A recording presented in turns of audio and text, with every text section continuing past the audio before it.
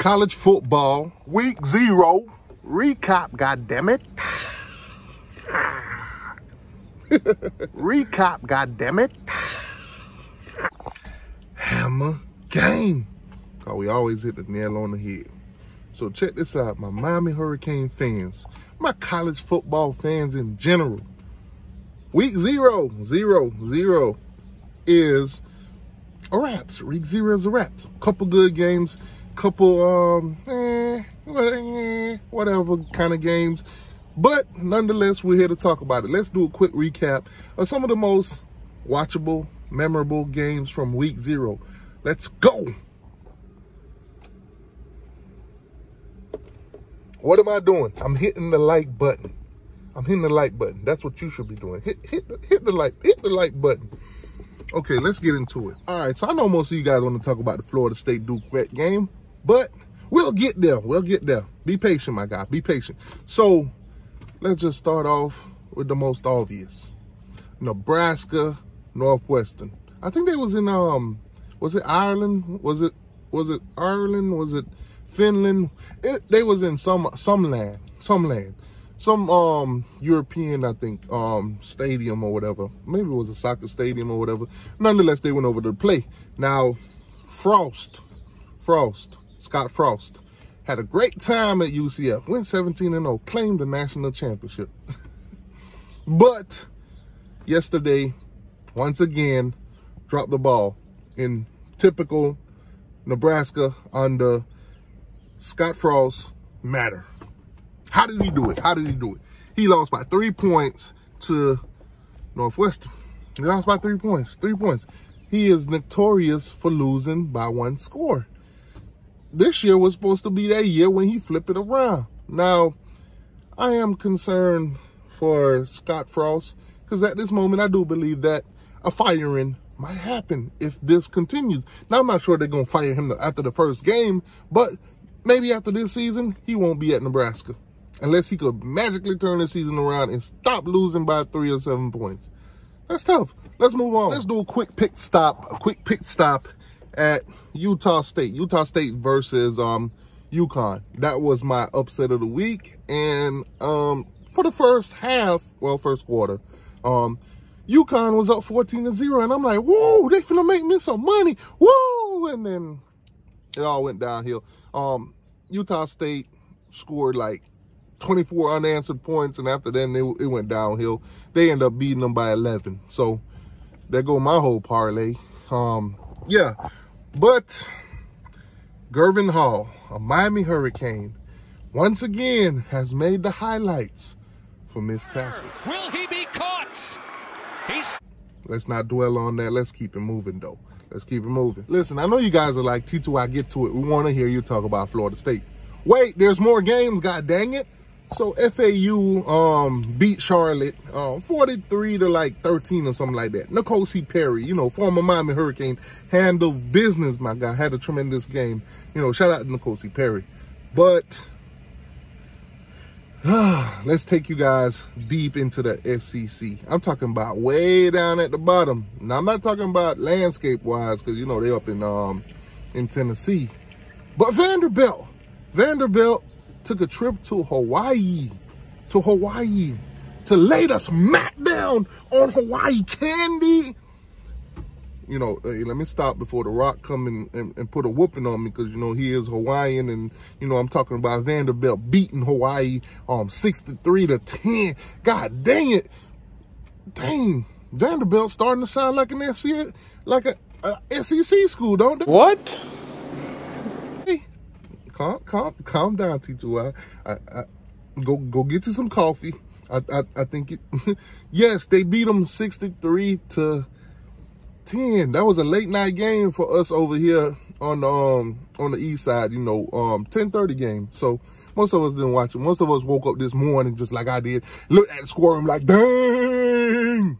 Yeah, yeah, that happened. All right, let's talk about um not Florida State yet. Calm down, man. Dang, I'm gonna get to it controversial story popped off um starting from Friday actually, you know, with um Florida A&M. Okay. Florida A&M, FAMU, the Rattlers. Yes, they're supposed to take a trip to North Carolina to play the North Carolina Tar Heels. And a lot of NCAA violations. I'm talking about um, ineligible players. I think it was about 20. Game was almost didn't happen because they uh, they almost didn't see see it fit to play that game because it might not be safe. You know, only seven offensive linemen was available. So, hey, man, it is what it is. They made a shake. They took a trip up there and, of course, you know, got beat. Nobody expected them to win, but they did put up a little fight. It is what it is. Um, 56 to 24, you know. And yesterday. Eh, eh, eh.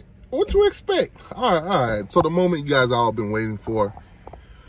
Florida State versus Duquesne. The Dukies. Hey you, hey you, you, you, you, you, you, you, you, you, you, you, you, you, you. Yes, I'm talking to you. You Florida State fan.